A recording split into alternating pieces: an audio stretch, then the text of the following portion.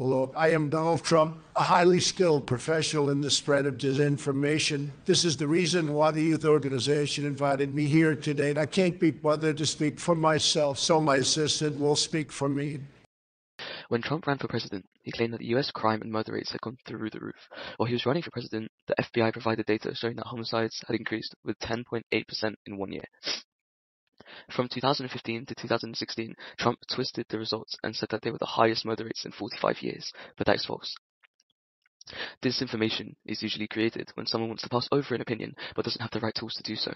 One can invent numbers, exaggerate them, distort them. This way, a lot of people will believe that the information they present is actually real. Trump took some FBI reports which said that the crime rates had the highest jump in a long time, but he used them to falsely claim that it was the highest murder rate in 45 years. In 1991, the crime rate spiked a lot. There were 758 violent crimes per 100,000 people.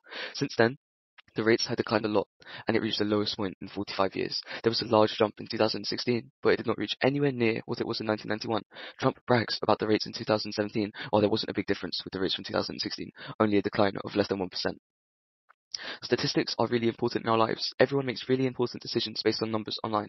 If these numbers aren't correct for whatever reason, people can make choices they would never support if they would know the truth.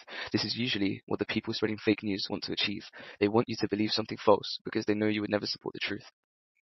Because of Trump claiming that there is a lot of crime in the US and promising he will be able to change that, a lot of people probably voted for him while they actually didn't really want to. Fake news is a big part of society as it is right now. You always have to be careful with what you believe, especially on the internet. Anyone can just invent numbers that may seem real while they are actually completely fake. Make honesty great again.